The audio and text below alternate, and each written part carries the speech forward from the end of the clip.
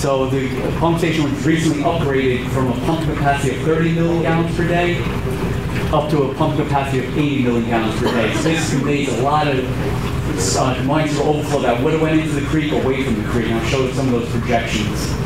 Uh, part of the pro project too had construction of two new force mains to also convey the flow. We had a 42 inch and a 48 inch force main to provide, convey the dry weather and wet weather flows.